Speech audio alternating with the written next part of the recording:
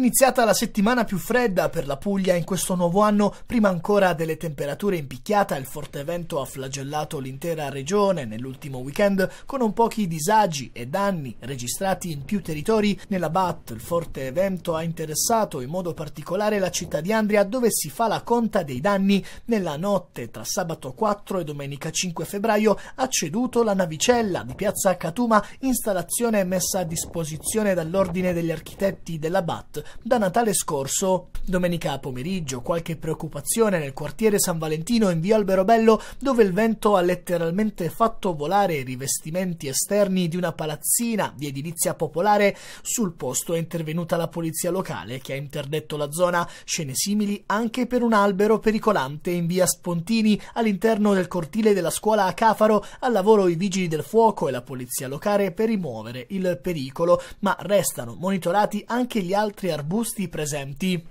Sulle città della costa, da nord a sud, mareggiate, forti venti di burrasca, ma come detto, ora il maltempo ha portato anche le temperature quasi ovunque vicine allo zero o addirittura sotto zero nei punti più alti. L'inizio della settimana è coincisa infatti con la neve tornata ad imbiancare la Bat ed in particolare Spinazzola, dove la nevicata per qualche ora è stata consistente in mattinata, ma non sono mancati fiocchi anche a livello del mare, come accaduto a Trani E a Bari, fenomeni comunque deboli e che non hanno provocato disagi, neve più consistente nell'entroterra barese, come ad esempio a Gioia del Colle e sui monti Dauni, nel Foggiano, nelle prossime ore le nevicate potrebbero aumentare di intensità nelle altre zone interne, come la Murgia e l'Alto Salento, mentre nelle ore notturne sono previste vere e proprie gelate un po' ovunque lungo la regione, effetto dell'area gelida che ha fatto capolinea sulla Puglia dai Balcani e che non dovrebbe portare accumuli significativi tra pioggia e neve, contrariamente alle temperature che invece resteranno sotto la media stagionale quasi certamente per tutta la settimana.